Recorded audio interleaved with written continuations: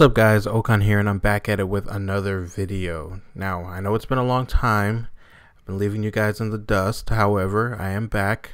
I'm going to be making videos more consistently, but enough about that, let's just get into what I'm here to talk about, what you all want to hear about, and that is E3 2021. Christmas for gamers. Finally here, we finally made it.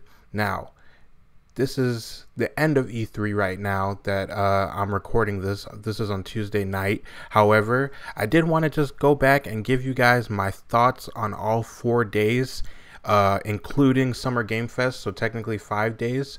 But I just wanted to go through all the main conferences and give my uh, favorite reveals that we saw in the conferences, just so that you guys could get an idea of what I'm looking forward to the most. And hopefully, in the comments down below, you guys can let me know what you're looking forward to the most. So, without wasting any more time, let's just get right into it. And let's start with Summer Game Fest because that was kind of the first show that really kicked off what E3 was this year.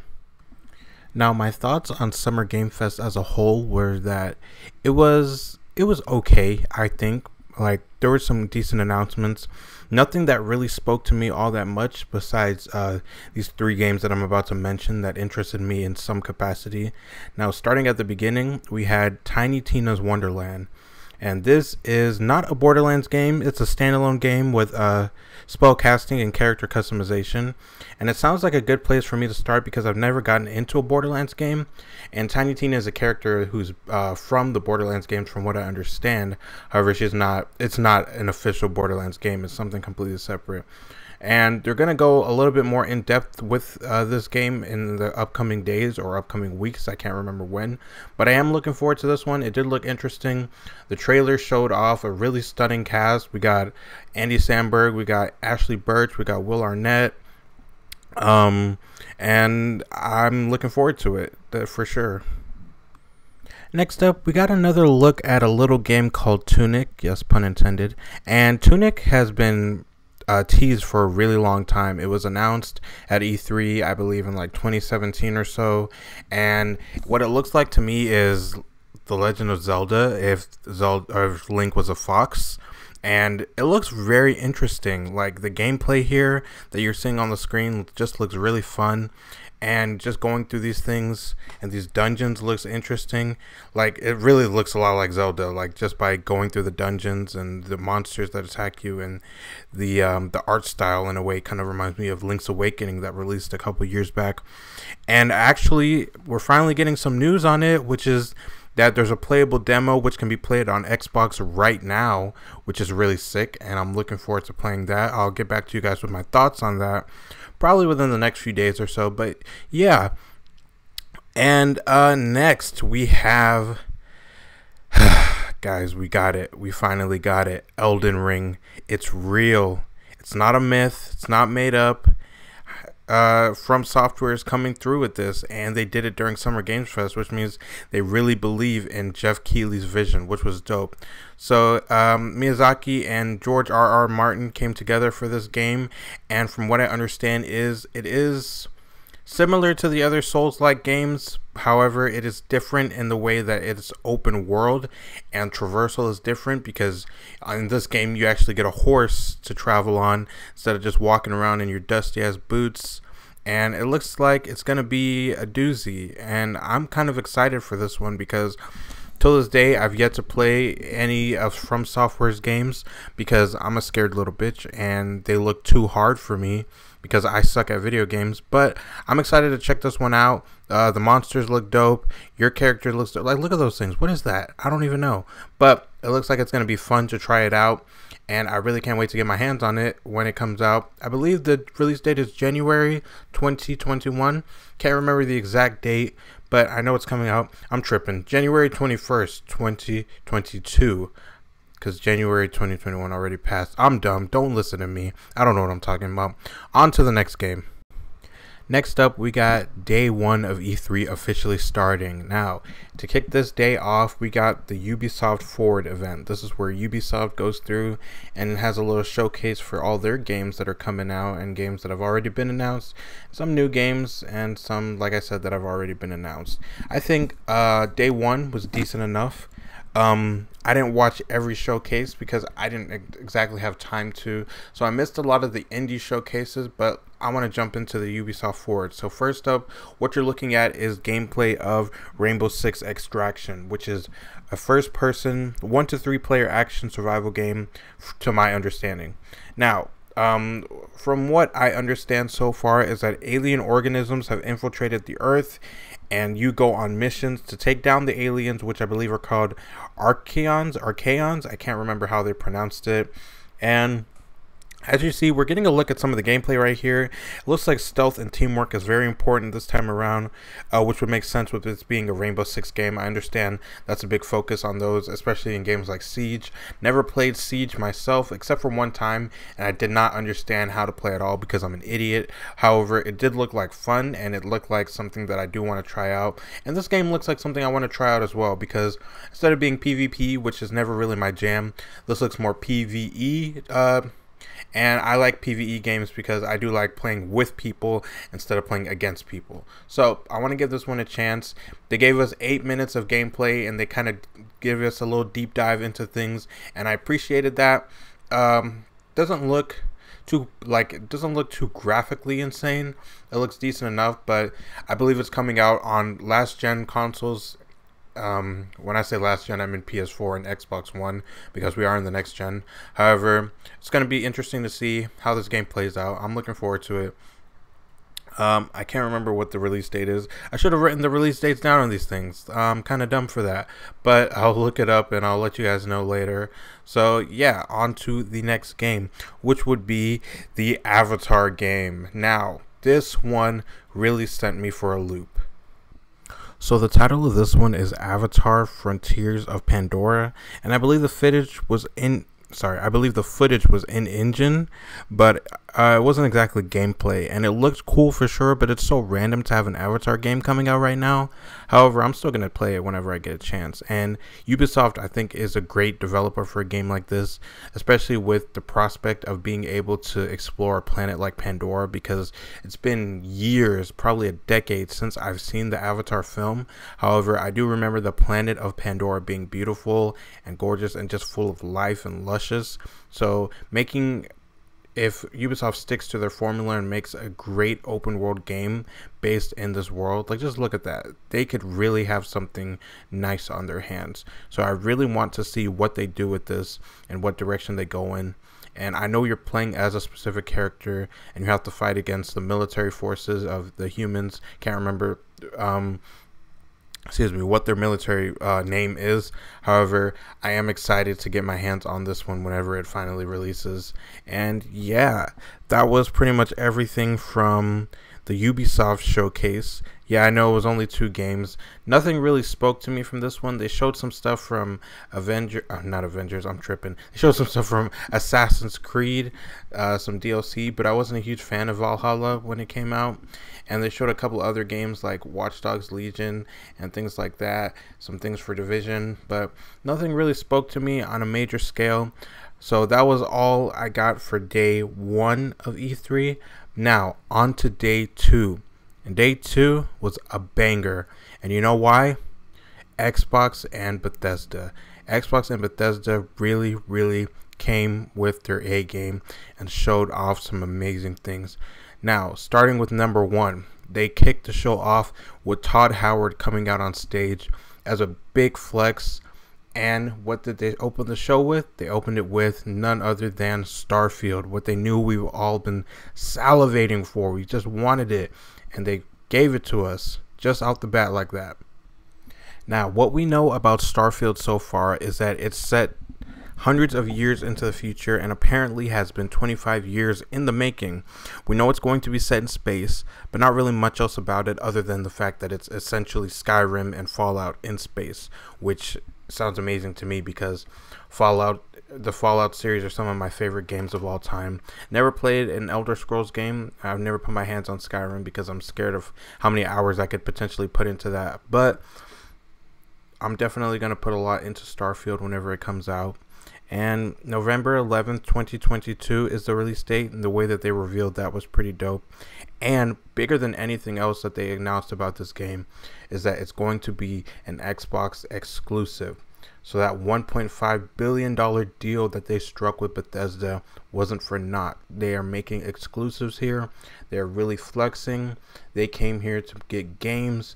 They have Bethesda's amazing library under their belt now.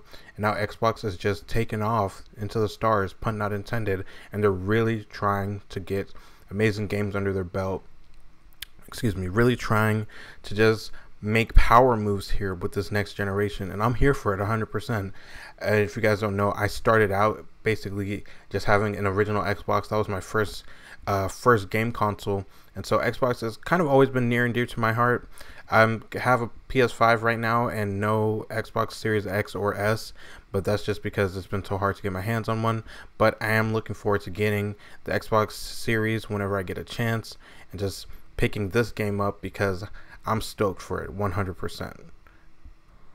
Next up, we got a funky little trailer with some groovy music, and this game is coming from Avalanche Studios, who made the Just Cause games and Rage 2. Now, this is just a CGI trailer, and the title of the game is Contraband, but um, no idea what it is, but I'm interested if nothing else. And we also know that it'll be coming to Game Pass whenever it releases, which is huge because Game Pass is just a hell of a deal. I hadn't had it for a couple of months because I hadn't really touched my Xbox in a couple of months, but I just got it back the other day because I just can't miss out on those savings and all the amazing games that they have on that lineup. So this game is coming to Game Pass. Not sure what it's about. Uh, in the trailer, I believe they say that it's a cooperative experience, an open world. Yeah, right here they say a co-op I believe, open world experience. Yeah, and I'm looking forward to trying it out. I don't know what it is, but maybe it's going to involve a heist of some sort and things like that. So whenever I get my hands on it, I'll let you guys know. Not sure how far out that's going to be, but I am excited nonetheless. Next on the list, we got to look at Battlefield 2042, the new Battlefield game from EA. And I got to say, I am kind of looking forward to this one. I'm a little, I'm cautiously optimistic though, because it is a multiplayer only game, which I'm not super excited for, about because I'm more of a single player kind of player. And on top of that, multiplayer only with a $70 price tag on it, that's a little scary in my opinion. So I'm looking forward to it. However, I'm like I said, cautiously optimistic. The gameplay here does look fun. The vehicles look fun. The uh, overall uh, game experience looks fun. Like, look at this little grappling hook action right there. Whoop! Looks a little fun, in my opinion. It all looks fun.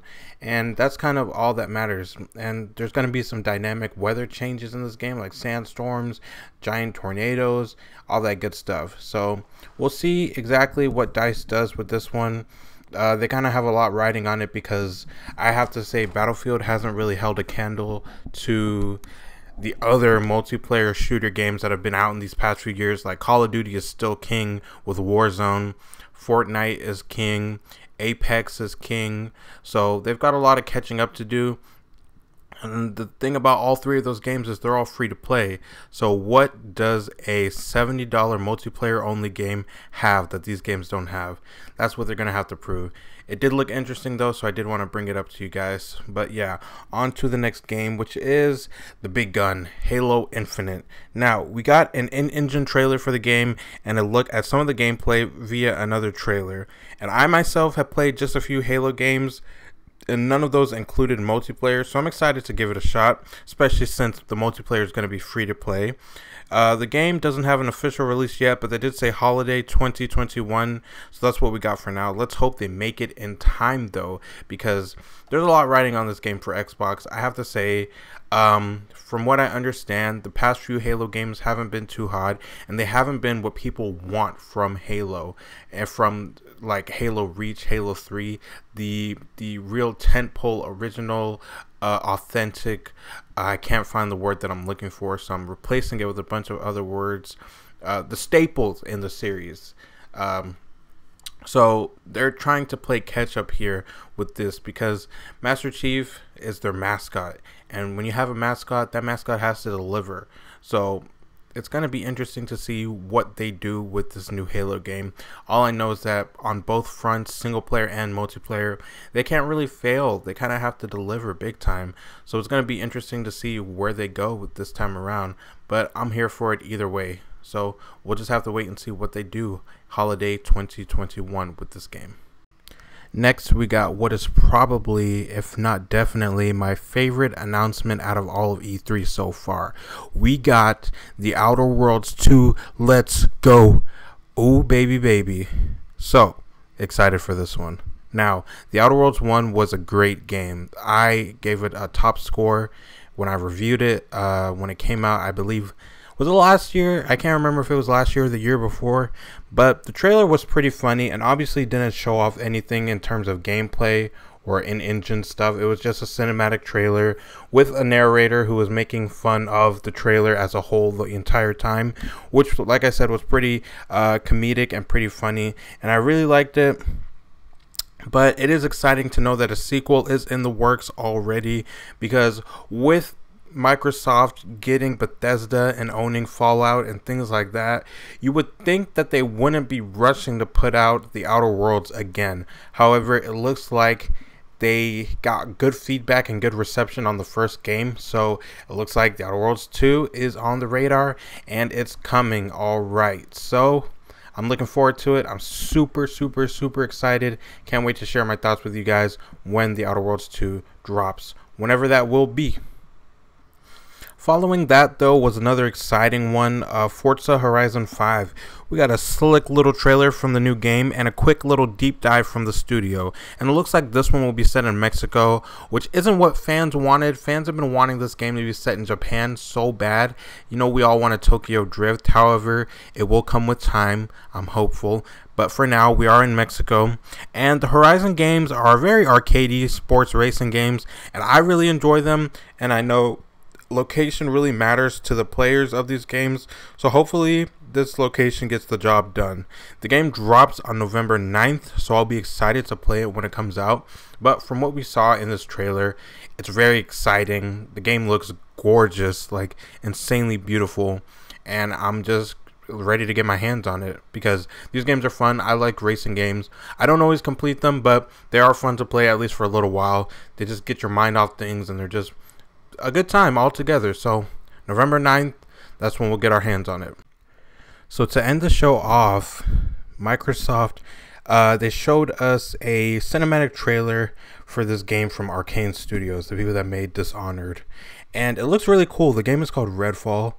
Uh, there seems to be some vampires in it from and some form of magic or some type of powers in some capacity like i can't really tell exactly what's going on here but it is set to be an open world game i believe with co-op in it so gonna be looking forward to this one coming out like i said this is only a cinematic trailer but what they showed off looked really sick and the game drops in 2022.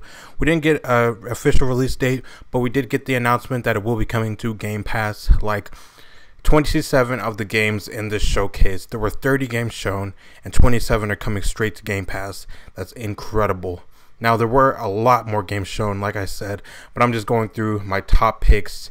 And like I said, the Xbox Bethesda showcase was spectacular. Like, it gets an S rank for me for sure. So, I am looking forward to all of these games that come out recently and it's going to be exciting to see where they go in the future with these games and how they all do but moving on from that staying on day two we did get a little um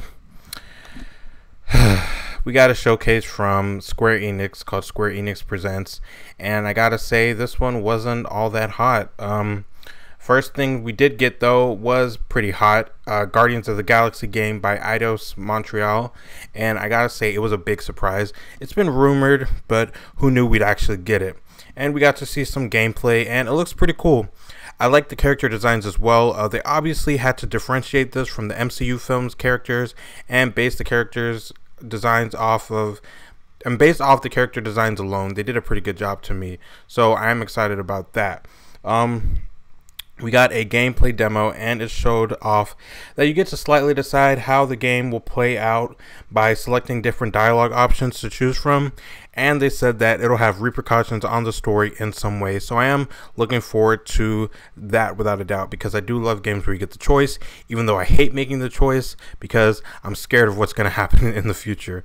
But uh, we'll just have to wait and see how that goes. Now in terms of combat you do play as Star Lord and only Star Lord. Um, but it does look like you can input commands that let you control the other Guardians character movements. kind of similar. Uh, this was described uh, by other people that I heard, and it makes sense. It's kind of similar to how uh, you play in God of War, where you control Atreus by pressing a button and issuing commands to him. And playing like that, I guess, is okay. I believe um, this is a single player, story driven, third person action adventure game. Like I said, where you play Star Lord and only Star Lord, which is kind of a bummer to me when there's a whole cast that would have been interesting to play as. That's something of a missed opportunity, in my opinion, but I guess they didn't want to make a half big game when they could have just focused on one character and let you input commands to play as the other characters in some capacity. So I guess that is better than them just being completely passive to you and somewhat liabilities or something like that. So it'll be nice. But the game does come out on October 26, 2021. Very close, surprisingly. And I am looking forward to that 100%. Uh, next up, we got a new look at the Avengers game from Square Enix. And, um, well, it looks like more Avengers to me. This game I've been playing since it came out wrote a review on it. Thought it was repetitious but fun. I am kind of tired of fighting the same robots in this game. So with this new expansion called War for Wakanda coming out later this year, hopefully, uh, I'm expecting some new types of villains, new content, something new to keep us going. Because if not, this game could be the next Anthem. It could be dead in the water. And I don't want to see that happen because I do enjoy playing this game for as repetitive and as kind of mundane that it can feel at times. So I'm looking forward to it. Maybe it's because it's a superhero game or something, but I'm hopeful that they can revitalize this game in some way because they desperately need it. And that's pretty much the end of day two of E3. Now, like I said, it was a decent showing. Uh, got some decent games here, but definitely better than day three, which I consider a snore fest. We really only got one uh, conference that day. We got, like I said, some indie showcases, but one big conference, and it was the Capcom showcase. Now, I have to be completely honest and say zero things interested me in this showcase. Like, not not even in the slightest. Uh, they started out with Resident Evil. Resident Evil does nothing for me. I've tried at least one of the games. I maybe I need to try them all, but like I said before, I'm a little bitch. I'm a crybaby, and I'm scared of scary games. So I don't really want to. They don't really do anything for me, so I don't really want to check them out. Uh, they did Monster Hunter Stories too, and I'm a Monster Hunter fan. I'm a relatively new Monster Hunter fan, but I am a big Monster Hunter fan. And this game also does nothing for me, to be completely honest. It doesn't look like the type of gameplay that I want out of a Monster Hunter game, and so I'm probably going to skip it myself. Uh, they also showed some form of collab with Monster Hunter Rise, which I did enjoy. Um, so we're going to see two Monster Hunter games collab with one another, which I guess is interesting. So we'll see how that goes. But uh, nothing really new in terms of content for Monster Hunter Rise, in terms of like uh, story events or anything like that. So we'll just have to wait and see what they have in store for that because Monster Hunter Rise was a very good game to me, and I do want to see more from that. Um, they did a new Phoenix Wright game. Never played a Phoenix Wright game before, so that didn't appeal to me. Uh, like I said, this showcase wasn't really much for me. Um, I watched it and I tried to find something interesting in it, but it just didn't really hit in the way that I wanted it to. I was expecting like a new Marvel versus Capcom or something like any three prediction that I had. You know, just wanted to see something crazy happen, uh, but they didn't have that to deliver. So it was a bit disappointing in my opinion. So on to the next day, which is day four today, as of the time I'm recording this. the final day of E3, and we got a killer Nintendo Direct. Now, when I say killer, I don't necessarily mean for me because Nintendo Directs are always kind of iffy for me because I never really played Nintendo games growing up, so there's so much that I missed out on, and I've never even played a Mario game before in my like like really played one. Like I played Mario Kart, but I don't really consider that as like a real Mario game. But there's a lot in these things that don't really speak to me because I've never had a chance to try them out. So I guess now is my time. But watching this, first thing we got was a Super Smash Bros. Ultimate new character reveal. Uh, we got Kazuya from Tekken. Now, I don't play the Tekken game, so I can tell you how important this is to fans, but it is always cool to see more fighters added to Smash Bros. Even though I haven't like updated my fighters since like the game first came out because I just don't really play fighting games like that. I do like to play them, but I'm not like good at them and I don't like keep up with them in that way. But it was interesting to see a new character and one from Tekken nonetheless was pretty cool. So shout out to them for that. Following that, we did get some uh, interesting news. A new, well, not new at all, but the Life is Strange games. Uh, three of them are coming to Nintendo Switch. You got Life is Strange 1, uh, Life is Strange, I believe, Before the Storm, and the newest one, Life is Strange True Colors, coming to Nintendo Switch, which is pretty sick. Uh, I did play the first Life is Strange game. I tried a little bit of the second one, wasn't really a huge fan of it, um, but the first one was pretty good, and it was really fun to see where your consequence, what the consequences of your actions would be in that game.